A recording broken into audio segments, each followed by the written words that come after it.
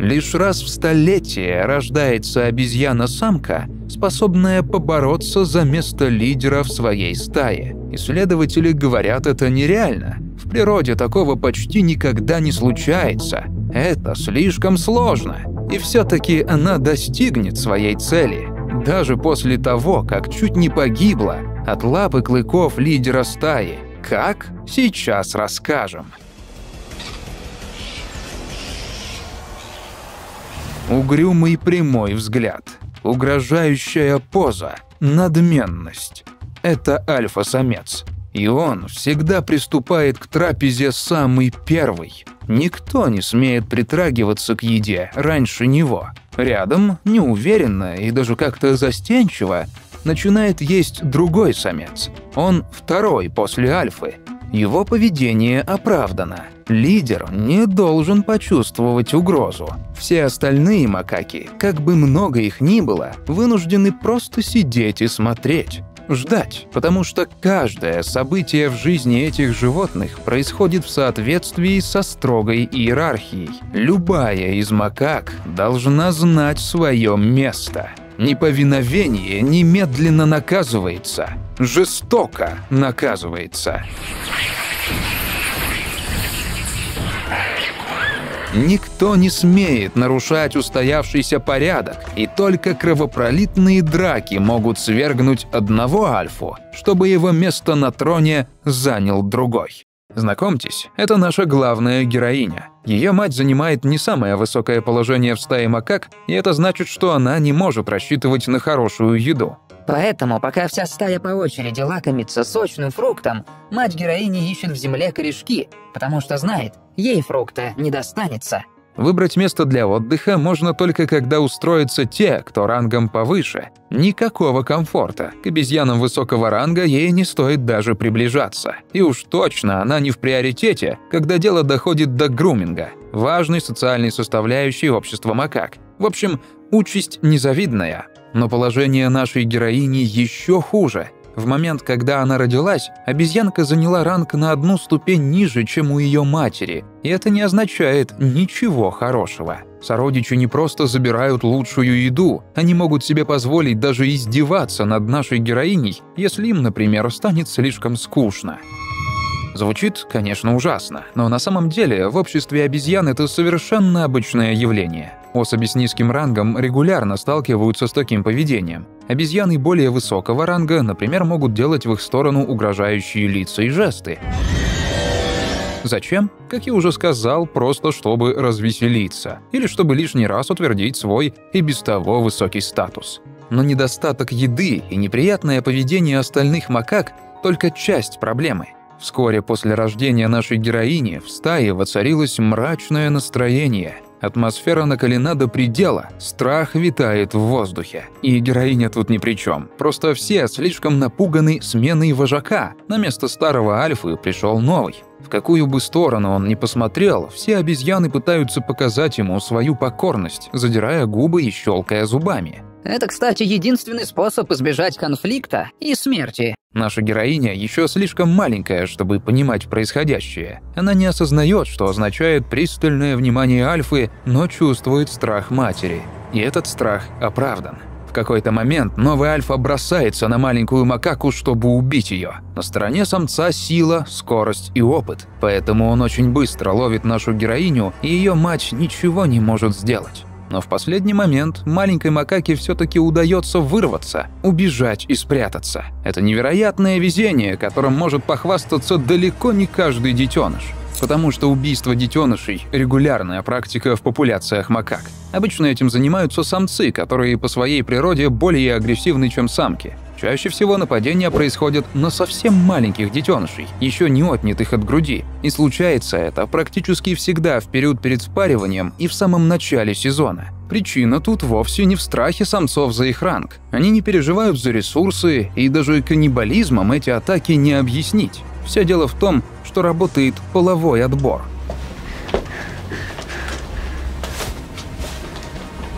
Основная задача макак, как и остальных животных, это оставить потомство. В период размножения самки спариваются с несколькими самцами, но не могут забеременеть, если уже имеют маленького детеныша. А поскольку это мешает основной задаче, самцы стараются освободить самок от чужих детей, чтобы те как можно скорее снова были готовы к беременности. Ничего личного, просто правило размножения. Если детеныши старше определенного возраста, самцы чаще всего их не трогают, потому что такое потомство им не мешает. Взрослые альфы, которые давно возглавляют стаю, тоже обычно не тратят силы на убийство детенышей. Но вернемся к нашей героине. Альфа в ее стае сменился, но ей повезло спастись и спрятаться. Вот только худшее еще впереди, ведь самец успел зацепить ее и настолько сильно, что на голове образовалась открытая рана.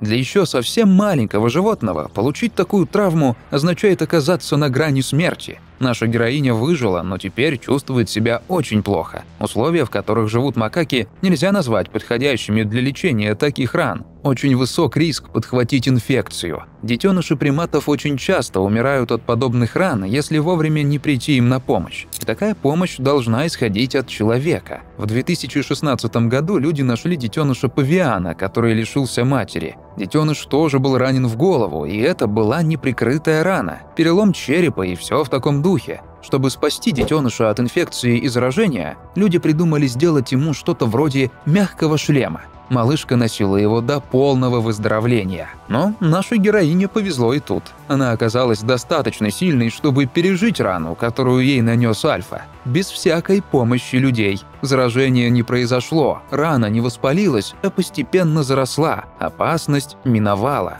Однако это было лишь одно из испытаний на пути нашей героини. Едва только она справилась со своей раной, как впереди ждал новый неприятный сюрприз. Другая самка подошла и просто отобрала нашу героиню у матери, потому что этой самке так захотелось. Да, это была макака рангом повыше, поэтому мать нашей героини даже не могла толком ничего сделать. В любой другой ситуации, любая другая мать, конечно, бросилась бы на защиту своего ребенка, но правила поведения внутри иерархии у макак слишком сильны. Мать нашей героини не могла напасть на похитительницу, потому что знала, тогда на нее саму нападут все остальные члены стаи. И вот молодая, более привилегированная самка уносит нашу героиню, а ее родная мать просто в шоке. Она не знает, что ей делать. Детеныша не отобрать силой, просто так его тоже не отдадут. Остается только следовать за похитительницей и надеяться на лучшее. Вот только нет никаких гарантий, что это лучшее произойдет. Стоит жара. Детенышу необходимо периодически пить молоко, иначе может начаться обезвоживание. Это то, что происходит на уровне инстинктов, и потому наша героиня пытается пить молоко у своей приемной матери. Но ее организм просто не вырабатывает молоко. Похитительница физически не способна позаботиться о детеныше. Хочет она или нет, но ее организм не готов к такому. На самом деле этот факт очень долго сбивал ученых с толку. Некоторые обезьяны просто любят похищать детенышей у других обезьян, хотя часто не в состоянии выполнять функции матери. Особенно часто такое происходит именно между самками обезьян высокого ранга и матерями низкого ранга и их детенышами. Да, воруют в основном именно привилегированные приматы. Известно много подобных случаев, особенно в Индии и Китае. Буквально каждый раз, когда самка рожает, существует вероятность того, что ее ребенка украдет другая. Казалось бы, в чем смысл? Ученые полагают, что причин несколько. Некоторые обезьяны делают это из простого любопытства, желания поиграть в дочки матери, пока еще не завели собственных детей. Не случайно похитительница нашей героини моложе, чем ее мать. Еще одна причина такой кражи детеныша – контроль популяции и желание получить власть.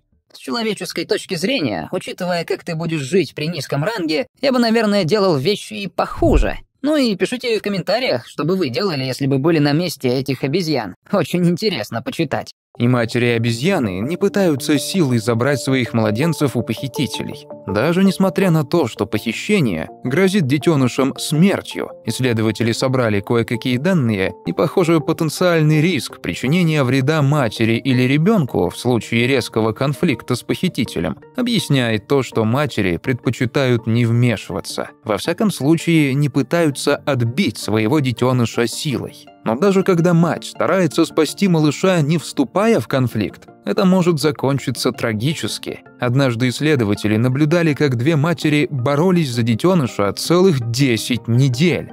Началось все как обычно. Более молодая самка с более высоким рангом похитила детеныша, пыталась о нем заботиться, но не могла, потому что просто не представляла, как. Родная мать изо всех сил пыталась помочь своему детенышу, так что фактически у них происходило совместное материнство. Однако похитительница слишком мешала, детеныш не получал достаточного количества питательных веществ, медленно слабел. Итог печален, но ожидаем. Малыш погиб. Но интересен вывод, к которому после пришли исследователи. Похитительница не пыталась намеренно убить детеныша. Они отметили, что со своей стороны она потратила очень много внимания и ресурсов, но физически не могла дать детенышу то, что ему было нужно. Однако похитительница просто не понимала этого. Не удивлюсь, если она расстроилась или даже удивилась такому финалу. Иногда детенышам по-настоящему везет. Похитительница нашей героини быстро надоела игра в дочки матери. Она оставила чужого малыша в покое, и мать его забрала. Опасность снова миновала. Кажется, наша героиня родилась под счастливой обезьяньей звездой. В конце концов, она подросла достаточно, достигла половой зрелости и почувствовала свою силу. Положение матери нашей героини с тех пор немного изменилось. Но сама героиня, повзрослев, решила, что не хочет довольствоваться малым. В конце концов, она долгое время получала не самую лучшую еду, спала не в самом хорошем месте. Некоторые члены стаи готовы мириться с таким положением, но только не наша героиня. И то, что сделала она дальше, просто снесло мне голову. Подобрав удачный день, взвесив все «за» и «против», она бросила вызов своей матери. Благодаря молодости, силе и ловкости героиня победила, а значит, смогла занять ее место. И здесь, пожалуй, самое время подробнее рассказать об иерархии внутри общества приматов. Все 23 вида макак живут в сложных социальных структурах и иерархиях, построенных вокруг доминирующих самцов и самок. Обезьяны высокого ранга, по сути, живут жизнь своей мечты. Они получают очень много внимания, могут проявлять агрессию к кому угодно, но при этом не нужно тратить никаких ресурсов. То есть, сами они никому особенно внимания не уделяют, и в их адрес никто не смеет проявлять агрессию. Они просто на вершине, победители по жизни. От этого у обезьян высокого ранга даже иммунная система работает лучше, чем у остальных. Бонусом, как вы уже поняли, им достается лучшая еда и лучшие места отдыха. Доходит до абсурда.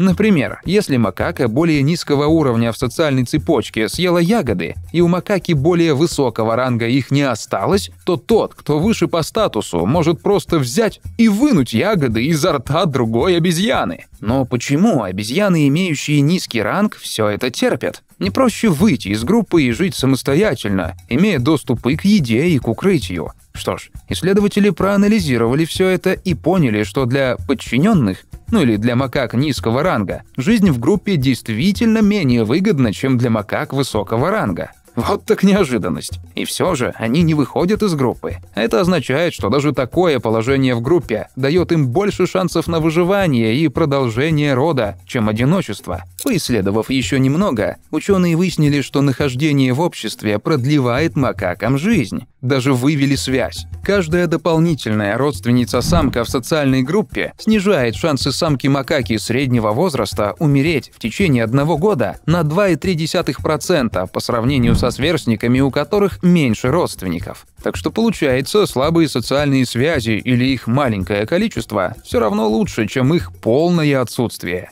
В каком-то смысле у макак просто нет выбора. Ну, то есть он-то существует, просто тут два варианта – или жизнь, или смерть. Я бы не назвал это выбором. Место в иерархии можно изменить, но здесь все зависит от пола. Самцы покидают свою родную группу по достижении половой зрелости, то есть в возрасте от 5 до 8 лет. После этого, иногда пожив немного для себя, они присоединяются к новой группе. Когда они это делают, то включается своеобразный таймер, о котором в курсе только сами обезьяны. Чем больше времени проведено в группе, тем выше ранг самца. Постепенно положение новенького улучшается, так сказать, по выслуге лет. Ну и, конечно же, подняться выше можно с помощью жестоких драк. Когда макака низкого ранга побеждает в бою макаку высокого ранга, она занимает ее место. У самок все немного иначе. Обычно они наследуют ранг чуть ниже матери и редко покидают группу, в которой родились. Обычно максимум, на который идут самки, это место матери, то есть они поднимаются на один уровень вверх. Дружба с самкой высокого ранга также может продвинуть самку низкого ранга наверх, но большинство довольствуется своим местом. Они даже не пытаются ничего менять. Но только не наша героиня. Ей оказалось недостаточно всего лишь занять место своей матери. Она решила подняться еще выше. Постепенно наша героиня стала лидером среди самок своей группы. После захвата власти она становилась все более уверенной в себе, почти высокомерной, ходила с поднятым хвостом, что является редким поведением среди самок, и постоянно бросала вызовы все новым макакам, каждый раз побеждая. Спустя пару лет уже мало кто мог осмелиться бросить вызов нашей героине. На самом деле, когда ты макака, живущая в дикой природе, где нужно постоянно добывать еду и заботиться о своей безопасности, вокруг просто идеальная площадка для тренировок. Едва ли наша героиня занималась целенаправленно, но она росла, с каждым годом становясь все сильнее и быстрее. Ей приходилось быть ловкой, а постоянные схватки на пути к вершине социальной пирамиды еще больше закалили ее. И вот, в конце концов, наша героиня стала достаточно сильна, чтобы сразиться с тремя самыми главными противниками – Первым был самец, занимавший третье место, и он не собирался сдаваться без боя, как большинство других самцов. Они предпочитали не связываться с нашей героиней, но этот, казалось, был готов противостоять ей. Впрочем, это ему не помогло. Наша героиня напала на него сзади, и после короткой потасовки ему ничего не оставалось, кроме как сбежать. Вообще, ситуация со схватками самцов и самок довольно интересная. Поскольку самцы приматов обычно крупнее, неудивительно, что у многих видов они стоят выше самок. Но как же тогда возможно, чтобы самка раз за разом побеждала в поединке с самцами? Исследование показало, что самки будут чаще доминировать в группах, где самцы превосходят их численностью. Звучит странно, но тут дело вовсе не в силе и размере. Секрет в шансах.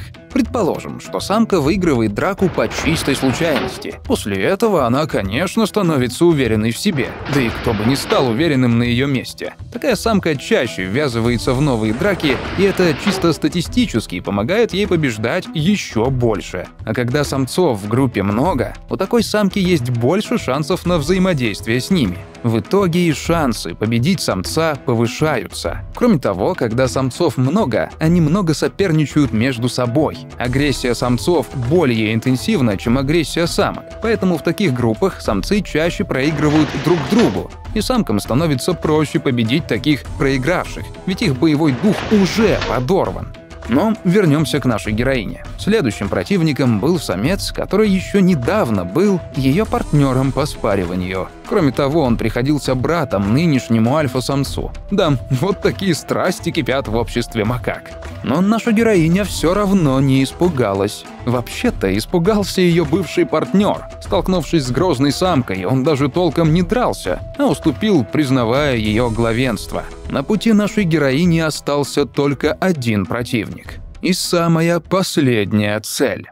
Но что в нашей самке такого особенного? Почему под ее напором отступают даже высокоранговые самцы? Все дело в характере. Не секрет, что у животных есть свои уникальные особенности личности. На самом деле на планете нет двух одинаковых макак, как и двух одинаковых людей. В этом и заключался секрет нашей героини. Ей достался очень боевой характер. Как я уже сказал, победив мать и став во главе самок, она стала уверенной в себе и начала вести себя очень доминантно. Помните поднятый хвост и все такое? Обычно такая поза – поведение лидера, которое встречается только у самцов. И чем более высокий ранг приобретала наша макака, тем круче она себя вела. Героиня не только часто ходила с поднятым хвостом, но и трясла ветки деревьев своим телом. Эксперты даже пришли к мнению, что ее поведение вообще ничем не отличается от поведения доминантных самцов. Исходя из этого, думаю, есть две причины, почему самец не стал вступать с нашей героиней в драку. И, скорее всего, сработали они обе. Во-первых, самка просто задавила его своей уверенностью. Она вела себя настолько доминантно, что он решил не испытывать судьбу. Да, банально испугался. К тому же самец наверняка видел, как она побеждала других своих соперников, а значит уже сообразил, что это очень сильная самка. Тут бы кто угодно сообразил на самом деле. Во-вторых, ему было особо нечего терять. В конце концов, ну что изменилось? Он опустился со второго ранга до третьего, и большой разницы между этими ролями нет. То есть он еще круче, чем остальные макаки в группе. Так зачем лишний раз рисковать? И вот, наконец, наступило время решающей битвы. Альфа-самец – самый важный противник в жизни нашей героини. Тот, кто стоял между ней и троном. Опытный макак, который был альфой уже несколько лет, занял место лидера, когда наша героиня едва появилась на свет. Да, это именно он едва не убил ее. Забавная штука жизнь, верно? Лес замер в ожидании. Все члены стаи замолчали и только наблюдали за тем, как сходятся противники. Старое против нового, традиции против невероятного упорства. Казалось, что сейчас случится что-то невероятно важное, почти судьбоносное. И тут животные бросились друг на друга.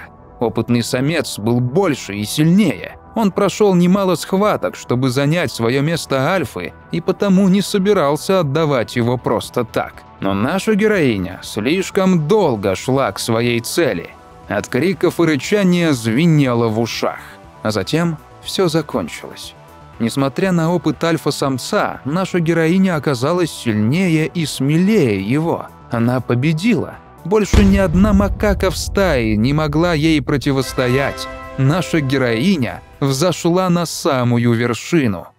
И хотя может показаться, что она сделала что-то нереальное, и вообще мы все это выдумали, альфа-самки в мире макак все-таки встречаются. Да, это редкость, но реальность. Пару лет назад девятилетняя самка японского макака в заповеднике на юге Японии показала людям, как это делается. Она силой свергла альфа-самца своего отряда и стала первой самкой-лидером за 70-летнюю историю заповедника. После своего восшествия на трон, макака по имени Якей стала во главе отряда из 677 особей. 677 макак! Это же просто какое-то нереальное количество. То есть она не просто обошла каких-то 10 макак и села себе довольная. Нет, Якей стала главой огромной стаи. Нет, я правда восхищен. Восхождение Якей до статуса альфа-самки по-настоящему удивило ученых.